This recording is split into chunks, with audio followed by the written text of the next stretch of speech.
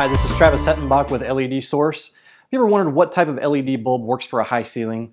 Well, it's important that you understand that because if you use the wrong kind, you may not have enough light because a higher ceiling may need more light down in your area. So it's important to have the right one. So a couple things to watch for. Lumen output, that's the important part because that tells you how much light is coming from that bulb.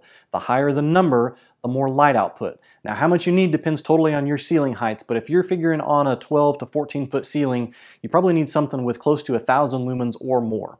If you have really, really tall ceilings, like let's say 20 feet or more, look for an even larger recessed can or even a commercial grade application that has 2000 lumens or higher. Beam spread is also really important because different LEDs actually give you the option of a wider pattern or a more narrow pattern. The higher the ceiling, the more narrow the beam you need in order to punch that light down farther and throw longer distances. That's what you need to look for when you're looking for an LED for a high ceiling. It's important that you have the right amount of light. I'm Travis Hettenbach with LED Source. Thanks.